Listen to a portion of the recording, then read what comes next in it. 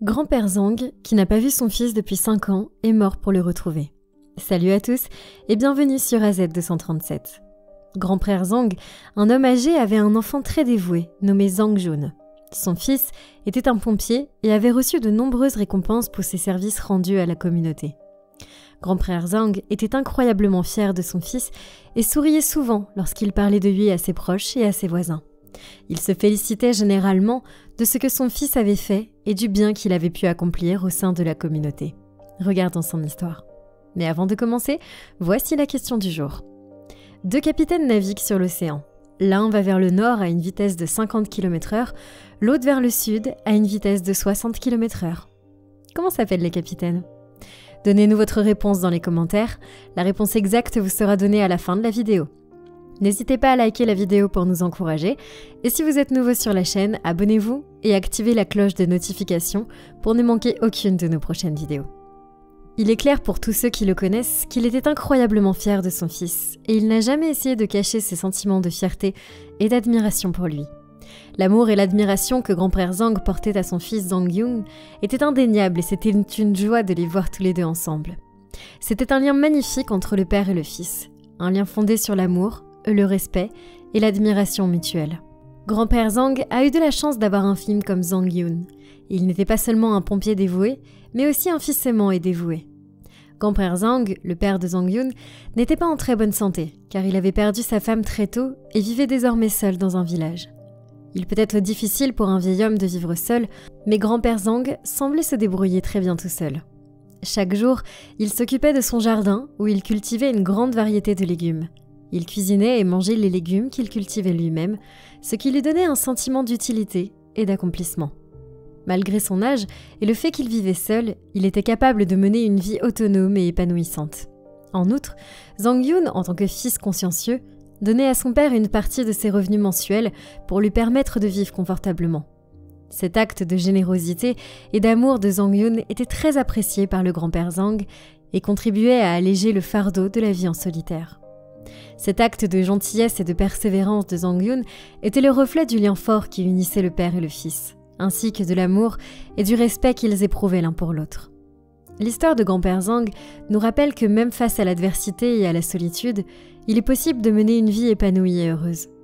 Grâce à son amour du jardinage, à son autosuffisance et à l'amour et au soutien de son fils, grand-père Zhang a pu surmonter les difficultés de la vie en solitaire à l'âge d'or.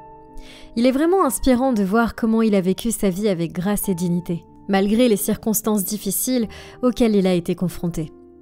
Lorsque Zhang Yun a été accepté dans le corps des pompiers, il y a des années, il revenait régulièrement rendre visite à son père. Cependant, grand-père Zhang n'était pas entièrement satisfait des courtes visites que son fils faisait chaque fois qu'il revenait à la maison. Il a toujours exprimé son désir de voir son fils rester plus longtemps avec lui et de passer plus de temps ensemble. Il exprimait toujours son souhait de voir son fils rester plus longtemps avec lui et de profiter au maximum du temps qu'ils auraient. Il est compréhensible qu'il voulait passer le plus de temps possible avec son fils, d'autant plus qu'il vivait seul et que son fils était son unique enfant. Le lien entre le père et le fils était incroyablement fort, et le grand-père Zhang appréciait le temps qu'ils passaient ensemble. Il exprimait toujours son amour et sa fierté pour son fils, et les visites lui rappelaient à quel point il tenait à son fils. Malgré la brièveté des visites, grand-père Zhang appréciait le temps passé avec son fils et attendait toujours avec impatience la prochaine. Il profitait au maximum du temps qu'ils passaient ensemble et il était clair que l'amour et l'affection entre eux étaient inébranlables. En fait, les visites ne faisaient que renforcer leur lien et le rendre encore plus spécial. Chaque fois que son fils envisageait de rentrer à la maison, grand-père Zhang exprimait sa réticence en disant S'il ne s'agit que d'un ou deux jours de congé, il vaut mieux ne pas rentrer à la maison. Je sais que je te manque, mais cela te poserait trop de problèmes. Cependant, Zhang Yun n'était pas d'accord avec son père et insistait. Ce n'est pas grave, père, tu es tout seul à la maison. Même si je suis très occupée par mon travail, j'ai besoin de savoir que tu vas bien et que tu es en bonne santé.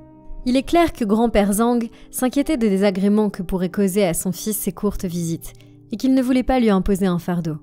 Cependant, Zhang Yun était déterminé à rendre visite à son père, malgré son emploi du temps chargé, car il savait qu'il était important de rester en contact avec son père et de s'assurer qu'il allait bien et qu'il était en bonne santé. Pour lui, les visites n'étaient pas seulement un moyen de s'assurer du bien-être de son père, mais aussi un moyen de renforcer leur lien et de maintenir la connexion. Il savait que son père vivait seul et les visites étaient un moyen de lui apporter un peu de compagnie et de soutien.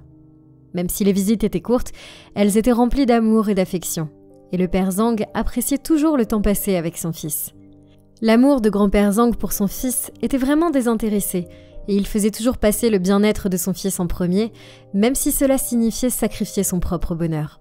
Cependant, l'amour de Zhang Yung pour son père était tout aussi désintéressé, et il faisait toujours passer le bien-être de son père en premier, même si cela signifiait faire des pieds et des mains pour lui rendre visite, malgré son emploi du temps chargé.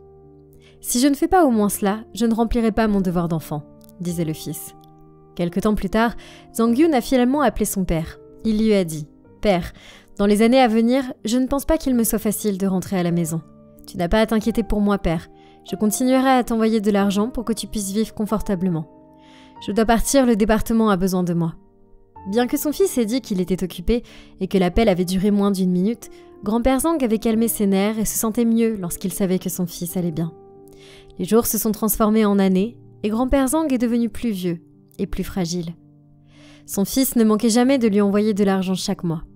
Zhang Yun n'a pas non plus rendu visite à son père pendant les cinq années suivantes en raison de son travail. Un jour, la santé de grand-père Zhang s'est détériorée lorsqu'il a ressenti d'intenses douleurs à la poitrine et a dû être transporté d'urgence à l'hôpital. Les médecins lui ont dit qu'au rythme où sa santé se détériorait, il ne lui restait plus beaucoup de temps à vivre.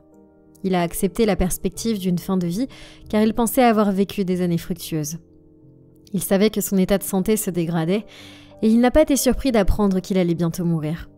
Il avait le pressentiment que cela arriverait et il se résignait à l'inévitable fin de vie. Il espérait seulement pouvoir voir son fils une dernière fois avant qu'il ne s'éteigne. Il a appelé le service d'incendie de son fils et a obtenu rapidement une réponse. Il lui a dit Mon fils, ta mère attend que je vienne la voir. Il ne me reste plus beaucoup de temps. S'il te plaît, peux-tu rentrer à la maison rapidement? Papa ne veut plus attendre. Peux-tu venir à la maison pour la dernière fois avant que je ne parte? La ligne s'est tue et le destinataire est resté silencieux pendant un moment. Il a entendu alors une voix douce à l'autre bout du fil qui lui a dit nous sommes vraiment désolés, grand-père. Votre fils est mort dans un incendie alors qu'il essayait de nous sauver il y a cinq ans. Nous savons que Zhang Yun était très attaché à toi et qu'il nous a répété de ne pas t'annoncer la mauvaise nouvelle, grand-père. La nouvelle fut un choc pour l'homme, déjà vieux et mourant, qui ne pouvait presque pas y croire. Ses mains se sont mises à trembler et il a laissé le téléphone tomber. Il s'est souvenu de toutes ces années où il avait espéré que son fils revienne à la maison et de la déception qu'il avait ressentie lorsque Jang Yoon n'avait même pas pu l'appeler. Des larmes chaudes ont coulé sur son visage et il s'est mis à sangloter de façon incontrôlable, pleurant son fils décédé. Si seulement il était rentré à la maison une seule fois, il ne verrait plus jamais son fils. Pendant qu'il pleurait son fils, de nombreuses pensées lui traversaient l'esprit. Il s'est dit Mon garçon, tu étais si jeune, tu n'étais pas encore marié. Tu n'as jamais eu la chance de vraiment vivre ta vie, de fonder une famille, de dire au revoir. Grand-père Zhang a eu le cœur serré. Il allait quitter le monde après une si longue période sans voir son fils, dont il était si fier, et en qui il mettait tant d'espoir. L'idée qu'ils n'ont même pas pu se dire au revoir lui faisait mal au cœur. Il avait l'impression de pouvoir mourir à ce moment précis, tant il était rongé par le chagrin. Ses mains et son corps continuaient à trembler, mais il a souri. Il savait que son temps était presque écoulé, et qu'il retrouverait sa femme et son fils dans l'au-delà. Il se consolait ainsi et se calmait en attendant de revoir sa famille. Grand-père Zhang n'a pas survécu jusqu'au matin. Il s'est éteint paisiblement. Il avait l'air satisfait, tenant une photo de sa famille dans ses mains au moment de mourir.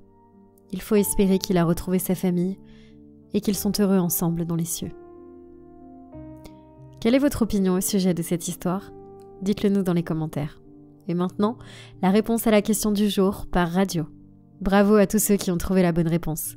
Nous voici arrivés au terme de cette vidéo. Merci de l'avoir regardée jusqu'à la fin. Surtout, n'oubliez pas de la liker et de la partager autour de vous. À très bientôt sur AZ237.